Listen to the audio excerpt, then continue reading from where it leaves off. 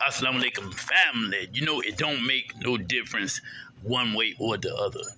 You know, when, when somebody wants you to sacrifice your happiness just because they not happy and they feeling so down and they feeling like shit because they behave like shit and they walk around with shit and they hang with shit. Well, if it smell like shit, guess what?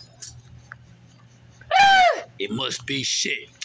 That's the dumbest shit I ever heard of in my life. To sacrifice your happiness just to make another motherfucker who ain't happy happy so they can vibe and and, and, and live off of your energy, feeding off of your energy, only pulling you down.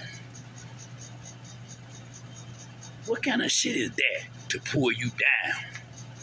I tell you what it is to make sure your ass ain't round here. That shit called stress. That's not love. Put that shit to rest. That's control. And my mama always told me, if you let a motherfucker control control you, yeah, you may as well let a motherfucker roll you. Justice for Young Dolph on the fuck on about this motherfucker. And, uh, assalamu alaikum. So stay true.